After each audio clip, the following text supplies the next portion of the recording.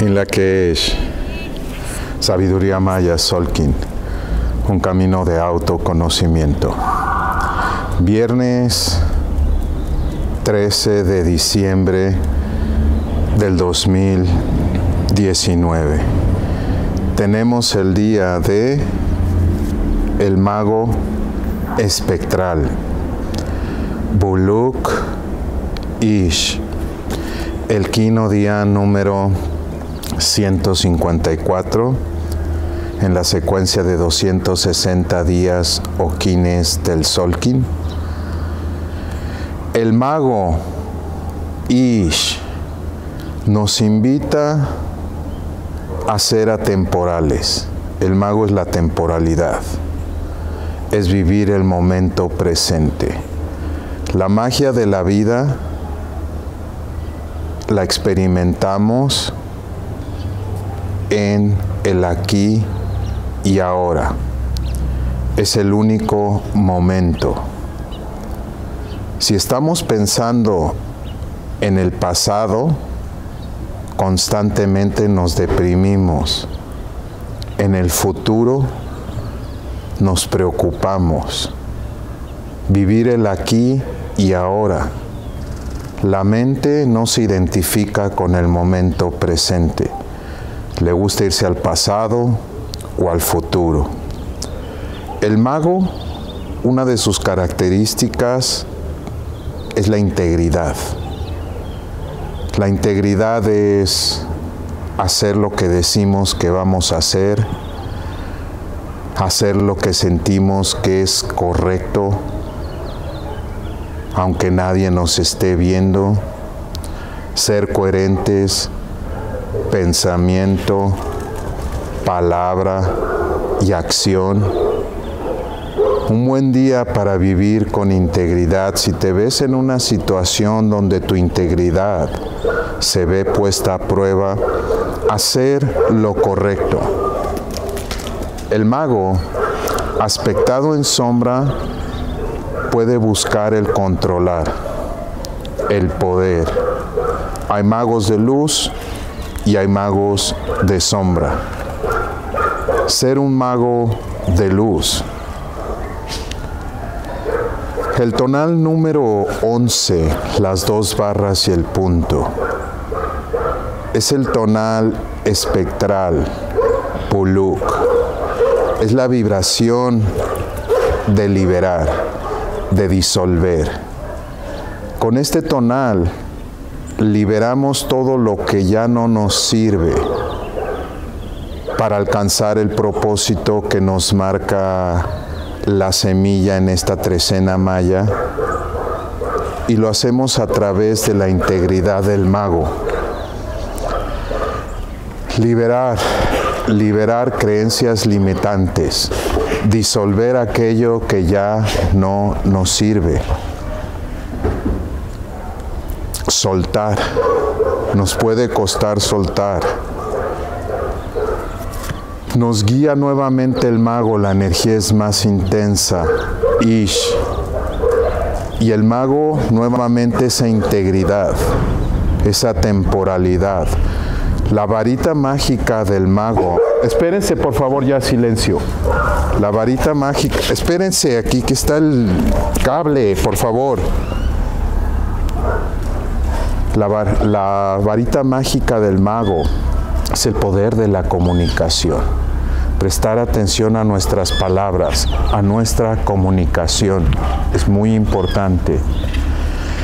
Y ser receptivos, porque es una de las características del mago, la receptividad. Es abrirnos realmente, vaciarnos. Para recibir nueva información es necesario vaciarnos de lo que ya no nos sirve, pero nos cuesta. El aliado es la serpiente.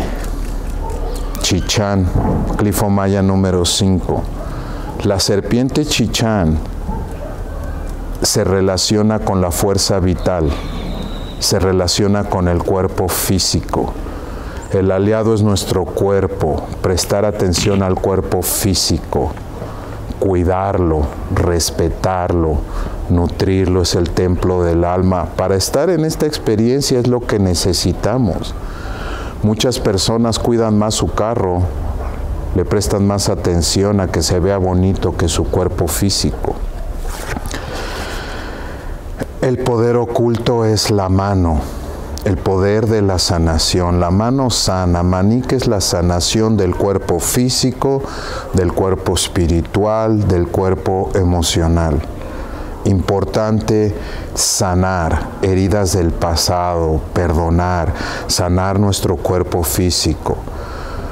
Muchas personas en estas celebridades totalmente es el abuso de alimentos, de todo, ¿verdad? En vez de tener paz, armonía, ser realmente mantenernos en un estado armónico es como una gran fiesta.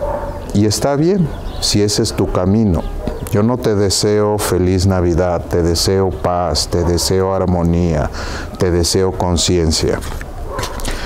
Y bueno, el reto, el desafío es la semilla con la misma trecena o onda encantada. Y la semilla, el reto es romper esas cáscaras que nos limitan. También es tomar esos riesgos, ¿verdad? Porque nos han condicionado a buscar muchísimo la seguridad buscar la seguridad en todo, permanecer en un, como en una cárcel, ¿verdad? Máxima seguridad. El mayor riesgo en la vida es el de no tomar algún riesgo, el de permanecer como una semilla que no rompe esas cáscaras, que se limita a sí misma. Aquí. Creo que se echó un gas aquí. Está, esta muy tranquila aquí. La semilla, y bueno, en la misma trecena maya, onda encantada de la semilla, ¿verdad? Trece días para sembrar la semilla de alguna intención, de algún proyecto. Ahorita es el terreno fértil especialmente. tanta risa y ahí tranquila. Estos trece días realmente romper esas cáscaras que nos limitan. Si estás en algunas, vas a hacer algo y dices, no, es que es mucho riesgo, la mente te dice, no, cuidado, ¿qué tal si no funciona? ¿Qué vas a hacer? Porque la mente es así, le gusta enfocarse en lo peor, el ego, ¿verdad? En el drama, en todo eso. No escuches, hay siempre un lado de la mente que nos apoya. Si te interesa mejorar tu vida, conocerte a través de una sabiduría ancestral, si vas a andar dando regalos que realmente no ayudan, ¿qué tal regalar una carta o regalarte a ti tu carta natal maya? De autoconocimiento con enfoque terapéutico es una herramienta de gran apoyo. Archivo PDF más de 70 páginas con información valiosísima, años de investigación literalmente una videolectura, 35 minutos en un video, el cual puedes ver varias veces. Es de gran ayuda los videos porque los puedes ver a tu propio tiempo, las veces que quieras. Retenemos 5 a 7% de lo que vimos por primera vez. Entonces cuando te hacen una lectura en vivo es maravilloso, pero luego se te olvida. A mí me ha pasado. Recuerdo en una ocasión cuando tuve mi cambio de vida, tuve una lectura astrológica y me encantó, pero Ya no me acordaba y quería acordarme y regresaba con la persona y le preguntaba y eso. Entonces con el video lo puedes ver las veces que quiera. Si te interesa o aprender más, hay cursos de, de, calendario maya de manera simple que puedes bajar vía internet o también consultas vía Skype y si te interesa visita factormaya.com Gratitud infinita por su atención, lo reconozco, valoro y respeto. Ven acá, Maya.